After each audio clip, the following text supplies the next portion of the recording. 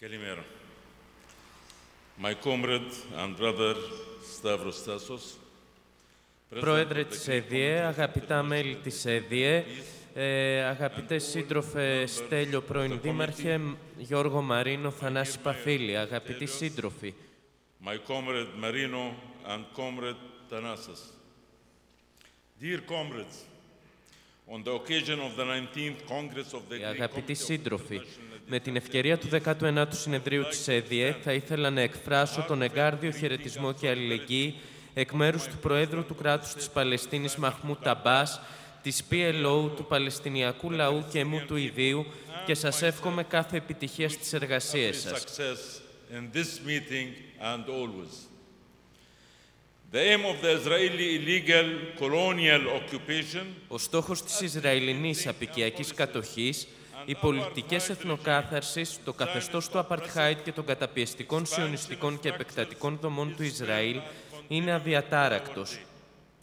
Ο στόχος του Ισραήλ και το εθνικό σχέδιο της διαρκούς εκποίησης και εκτοπισμού του Παλαιστινιακού λαού και η εμφύτευση παράνομων επίκων καταστρέφουν συστηματικά τις εναπομείνασες προοπτικές για ειρηνική διευθέτηση του ζητήματος βάσει της διεθνούς συνένεσης της λύσης των δύο κρατών που ζητά επίσης η Ελλάδα. national consensus of the two-state solution on 1967 borders and the international law. The ongoing Israeli crimes Τα καθημερινά Ισραηλινά εγκλήματα καταδεικνύουν την απόλυτη περιφρόνησή του για το διεθνές δίκαιο και το πολυσύνθετο παγκόσμιο σύστημα. Η βαρβαρότητα της παράνομης κατοχής του Ισραήλ και της υποταγής του Παλαιστινιακού λαού, είτε με την πολιορκία, είτε με την κατάληψη εδαφών, είτε με την εξορία, είτε υποβιβάζοντάς τους σε πολίτες δεύτερης κατηγορίας, δεν μπορεί να υποτιμάται. Τα τελευταία τέσσερα χρόνια χτίστηκαν 15.000 απικιακοί οικισμοί, ενώ επιπλέον 3.300 έλαβαν έγκριση οικοδόμηση την περασμένη εβδομάδα στα κατεχόμενα Παλαιστινιακά εδάφη. Αυτό θα ανεβάσει τον αριθμό των Εβραίων επίκων σε 700.000, παραβιάζοντας κατάφορα την τέταρτη συνθήκη της Γενέβης, η οποία δεν επιτρέπει στην κατοχική δύναμη να μεταφέρει τους πολίτες της στα κατεχόμενα εδάφη. Convention, which does not allow the occupying power to, re- to relocate its citizens to the occupied territories. Israel, the regime in Israel has killed more than 285 Σύμφωνα με το Γραφείο Συντονισμού Ανθρωπιστικών Υποθέσεων των Ηνωμένων Εθνών, το Ισραήλ σκότωσε περισσότερους από 285 Παλαιστίνιους και τραυμάτισε περισσότερους από 8.900 τους τελευταίους έξι μήνες.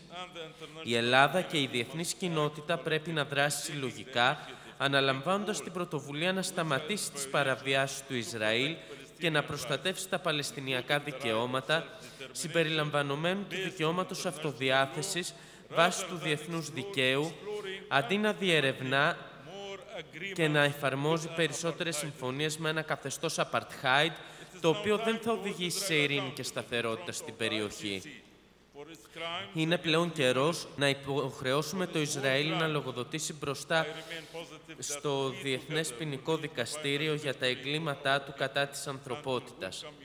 Παραμένω αισιόδοξος ότι μαζί θα φτάσουμε στην τελική νίκη του λαού μας και θα σας καλωσορίσουμε στο κυρίαρχο, ελεύθερο και ανεξάρτητο κράτος της Παλαιστίνης στα 1η 4η Ιουνίου 1967 σύνορα με πρωτεύουσα την Ανατολική Ιερουσαλήμ βάσει του διεθνούς δικαίου και όλων των σχετικών ψηφισμάτων του ΟΗΕ για το δικαίωμα επιστροφής όλων των Παλαιστίνιων προσφύγων που εκδιώχθηκαν το 1948 με την ΑΚΠΑ.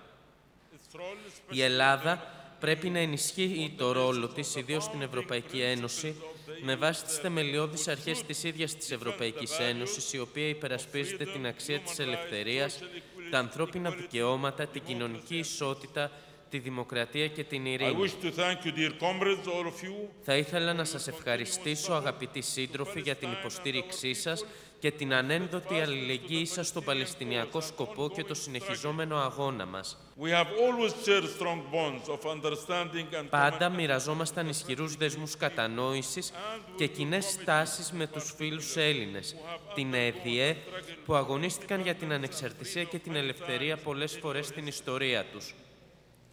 Μαζί θα οικοδομήσουμε ένα καλύτερο μέλλον για όλους τους ανθρώπους και τις επόμενες γενιές, εξασφαλίζοντας αρχές για αυτοδιάθεση, ελευθερία και ειρήνη για όλους τους ανθρώπους στην ευρύτερη περιοχή.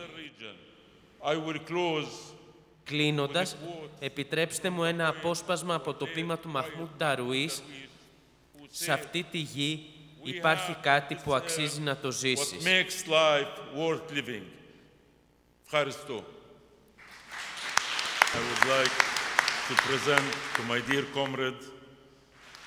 Θα ήθελα να παραδώσω στον πρόεδρο της ΕΔΙΕ, Σταύρο Τάσος, δώρο μια Παλαιστινιακή μαντήλα, καθώς και το μετάλλιο φιλίας. for friendship. And I'm sorry to tell you that I'm concluding my mission over here in Greece.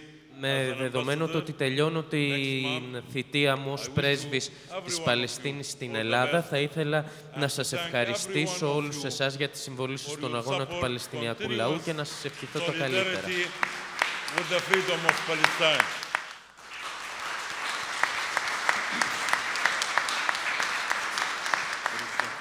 Thank you, Marwan. And I want to convey to the Palestinian people, through you, our continued support to your struggle for an independent Palestinian state, to condemn the crimes of Israel against the Palestinian people, and to assure you that uh, you have our continued support in your fair and your just struggle for an independent Palestinian state in the borders of June 1967. And uh, we wish you personally success in your new duties. Thank you so much. And we present to you this. Thank you so much. Thank you. Thank you. I'm sorry, I have to apologize because I have to leave. And thank you. I was honored during the past eight years to know each and every one of you. Bye bye. Ήταν τιμή μου που κατάφερα να γνωρίσω όλους και όλες σας από εσάς. Σας ευχαριστώ.